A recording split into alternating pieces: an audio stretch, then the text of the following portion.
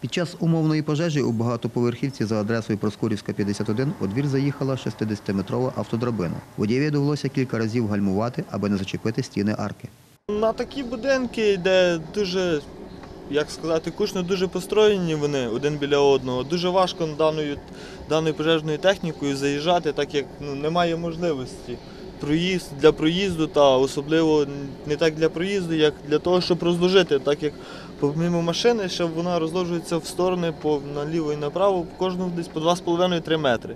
Плюс провода, отаке все, що накручено, неможливо підняти драбину в, даному, в даних місцях. Довжина автомобіля «Татра», на якій змонтована єдина в області 60-метрова автодрабина, сягає 11,5 метрів. За словами Олексія Добровольського, з її допомогою рятувальники дістаються 18-го поверху. При зведенні багатоповерхівок будівельники повинні дотримуватися протипожежних норм. Має бути забезпечений круговий під'їзд навколо житлового будинку для розгортання пожежно-рятувальної техніки для евакуації людей з верхніх поверхів будинку.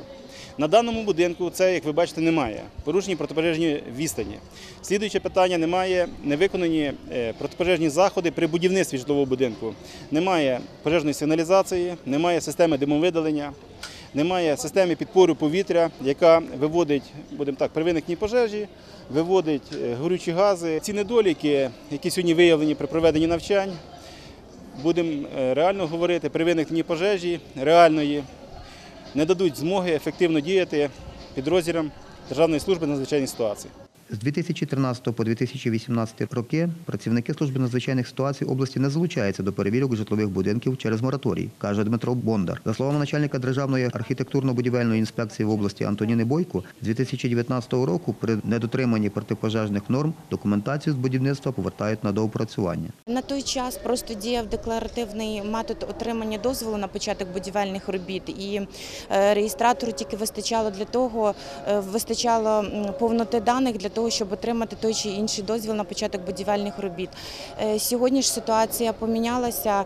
Е, Мінріонбуд е, затвердив нові ДБН, і ми гостро ставимо питання перед отриманням надання дозволу.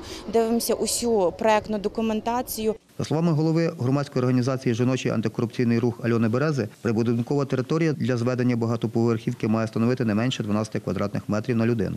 Якщо говорити про пожежні машини, тут так само є вимоги, і вимоги вони передбачені ДБНом. І е, в даному випадку в житлових кварталах треба передбачити в'їзди на територію, також при потребі на скрізні проїзди в будинки на відстань не більше 30 метрів один від одного. За словами Альони Берези, забудовники не дотримуються цих норм. Михайло Жила, Віктор Кривий. Новини Поділля Центр.